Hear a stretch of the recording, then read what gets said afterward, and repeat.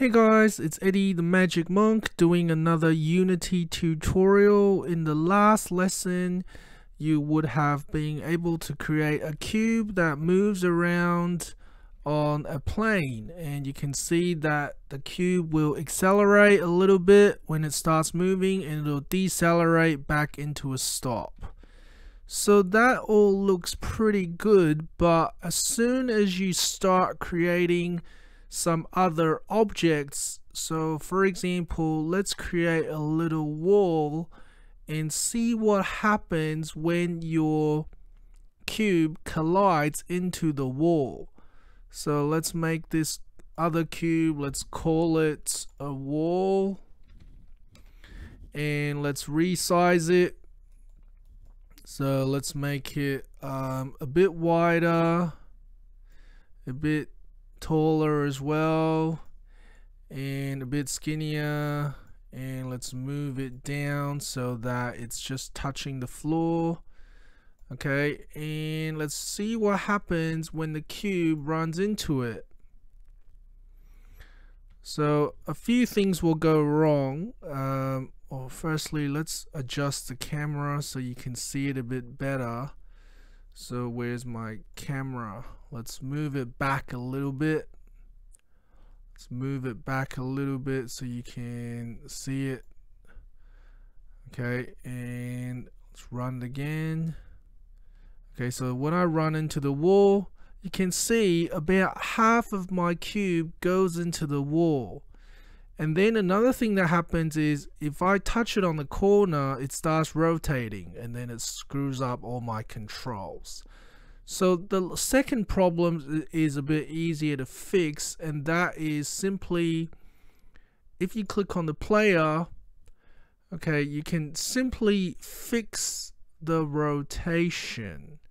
Fix the rotation by going into your rigid body component and click on fix uh, freeze rotation for X, Y, and Z. And that way when you hit the corners it will no longer rotate. Okay it will no longer rotate. But you can still see that about half the cube goes into the wall when you collide with it. And that's a big problem that we want to fix.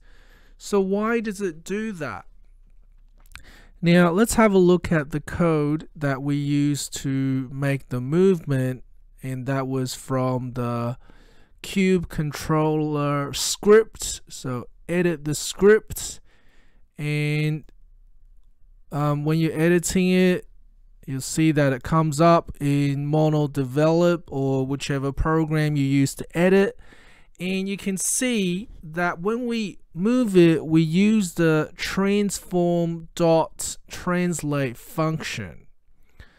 Now what's wrong with using it um, this way is that it does not use the rigid body component so it does not consider our cube as a physics object when we're moving. So it's only after that it's moved into the position, into the new position, it realizes, hang on, there's a wall there, and then it doesn't let you go through. But by that time, it's too late. It's already moved into the wall. Uh, half of the cube is already sunk into the wall. So what we need to do is change this code so that it recognizes that the object we're moving is a physics object, is a rigid body.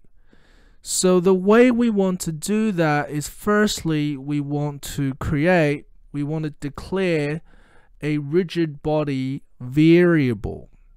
So here next to the speed variable, we're going to create a new variable called rigid body. Um, let's just give it a random name, whatever you want to name it. Let's just call it rigid body. Let's just call it RB, uh, which stands for rigid body, I guess. Now, this variable is empty right now. Right? It's a rigid body variable, but there is no link between the variable and the rigid body component of my object. So to link them together, I need to type RB equals get component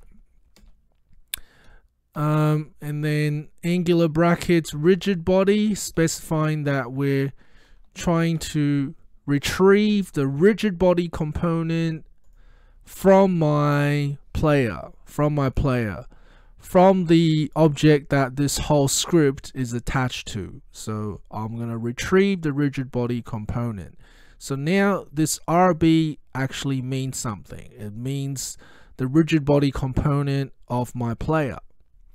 Okay so now I'm going to change up this code here a little bit um, the first thing I'm going to change is that firstly I'm going to combine these two uh, functions into one because you can see that I'm basically translating it horizontally and then translating it vertically which is not necessary. So let's just cut this bit of the code from the horizontal translation and paste it in the first coordinate of the vector 3 in the second translate function and let's get rid of this bit.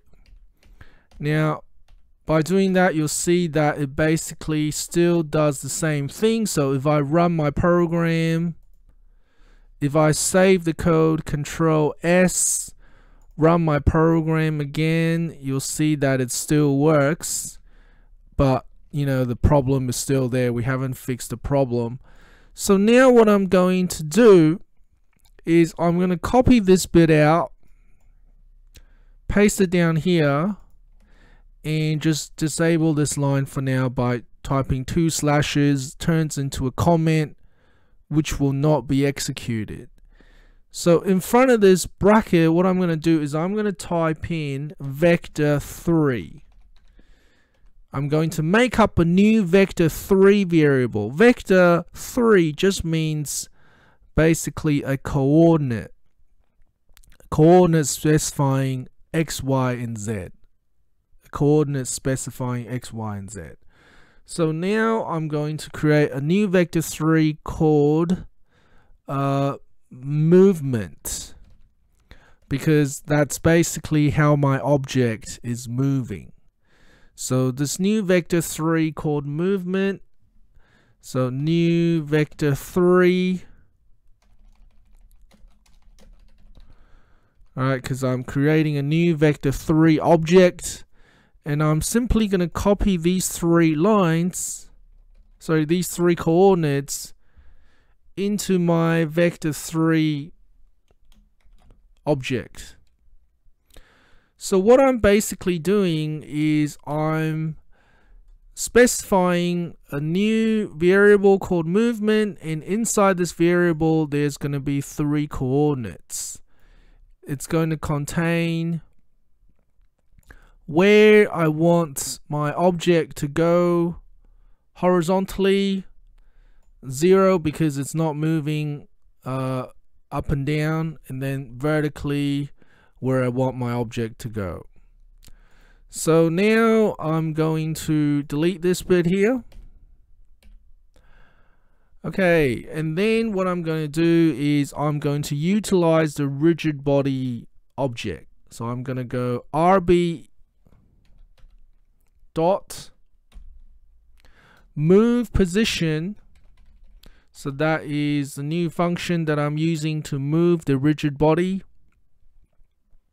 bracket and where I'm going to move it to. Now I'm going to move it to the current position.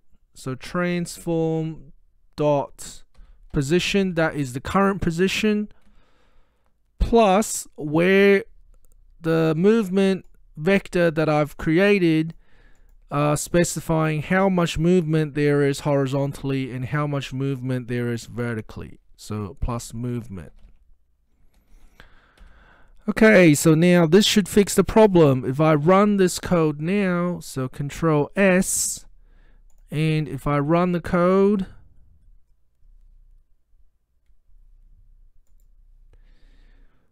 right, you can see that when you hit the wall, it no longer runs into it. Okay, it stops at the edge. Stops at the edge. I'll even show you using scene view. So I'm gonna go right next to the edge. You can see that when the object goes into the wall, alright, using scene view, it's just touching the wall. It's not going in, which is really good. Okay, so that concludes my tutorial. Thanks for watching guys. See you next time.